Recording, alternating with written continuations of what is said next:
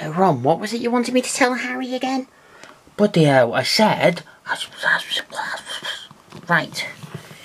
Okay, so Ronald wanted me to tell you that Dean was told by Parvati, who overheard Colin, who was speaking to Seamus, that Harry's looking for you. That doesn't make any sense. T- tell Ron that he's talking shit. I'm not an owl! What's wrong with being an owl, Hermione? Oh no, nothing. I wasn't talking down about being an owl. I was just saying that I don't pass messages back and forth, you know? I'm not an owl. Seems to me that you were talking down about being an owl.